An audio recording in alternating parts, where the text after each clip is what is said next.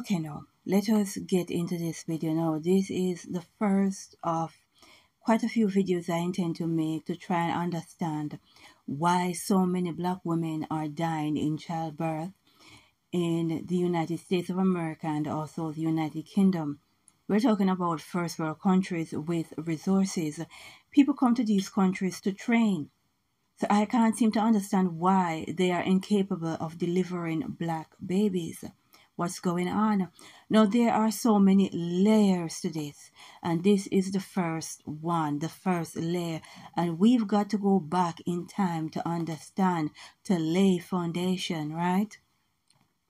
Now, I will be using the work of a Harriet A. Washington, and the book is Medical Apartheid. Now, this book, every black family should have not one copy, not two, but three copies of this book. Because best believe information on the internet is greatly sanitized, right? And they are removing a great lot of it. Let us get into James Marion Sims, the butcher, the man they consider the father of modern day gynecology. James Marion Sims, he was born into a struggling family of 10 in Hanging Rock near Lancasterville, South Carolina in 1813.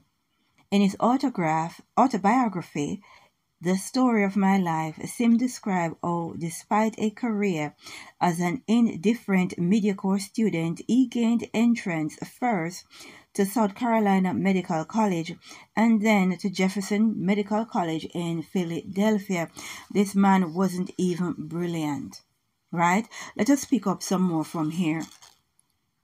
Sims acquired a total of 11 women slave with vesicovaginal fistula from their masters by promising to lodge, board, and treat them.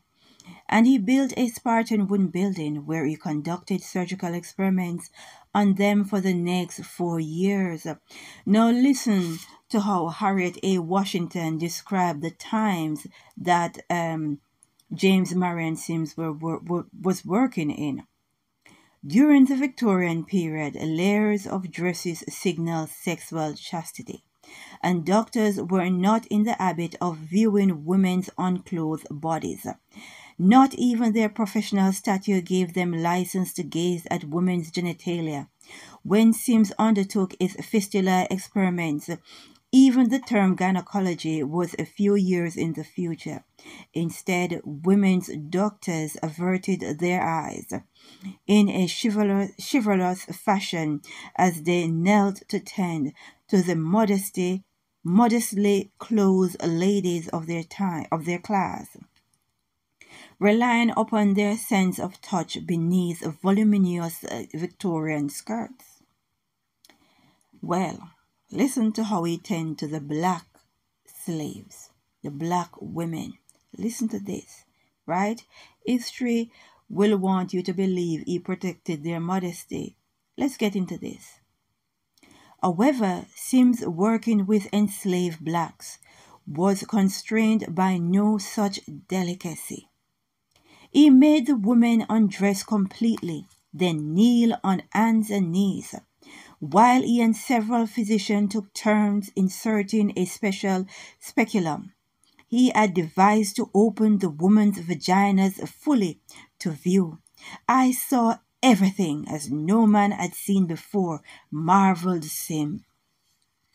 Montgomery's physicians flocked to Sim's shack to see what no man had seen before. So did prominent citizens and local apprentices. The surgeries themselves were terribly painful.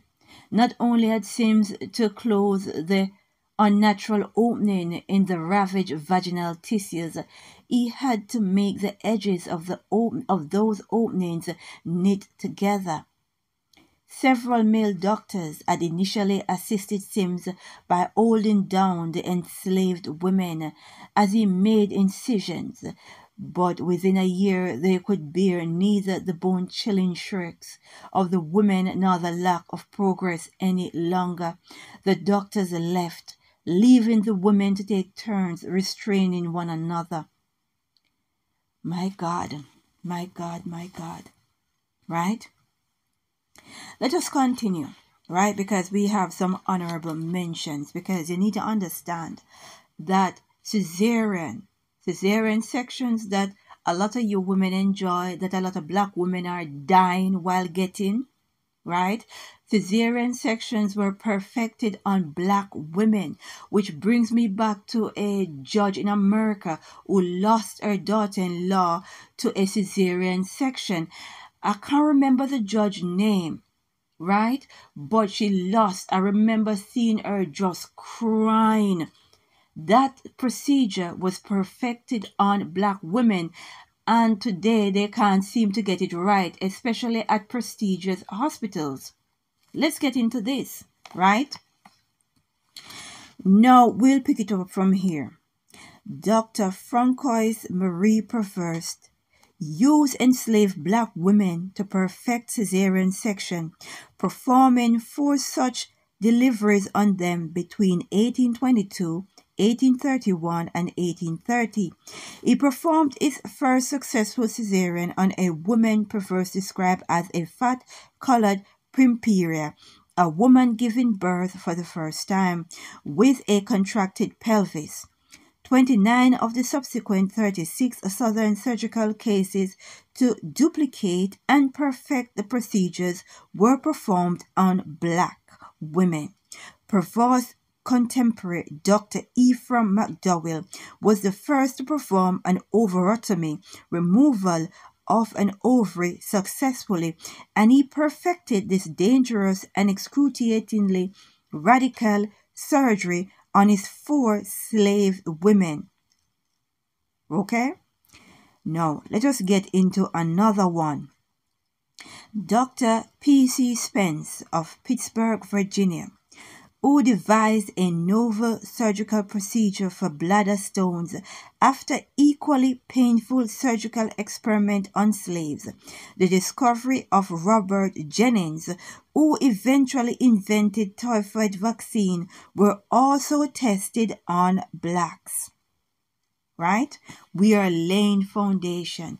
We are connecting some dots right? And we have to go into the past to understand so we can build as to why these doctors in first world countries, doctors and midwives, are unable to deliver black babies. What's going on?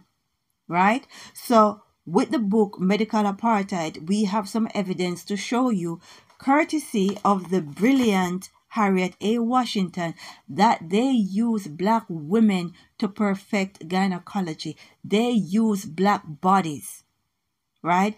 And they did not use any pain relief most of the time because they did not think we deserve any. We could take it. We we we could manage the pain better.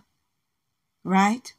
No, I'm coming back with another videos, quite a few videos to add so we can connect the dots, so we can paint a picture of what is going on. Why in these first world countries they cannot deliver black babies. Black mothers are coming up dead along with their babies. We need to pray to the Most High. Use critical thinking. And before I go, I can't understand with so much evidence why people would take the demon juice. I, I, I can't understand why you trust these doctors with so much evidence out here. Anyway, we need to seek the faith of the Most High. Let us pray and say, Glory be to the Most High.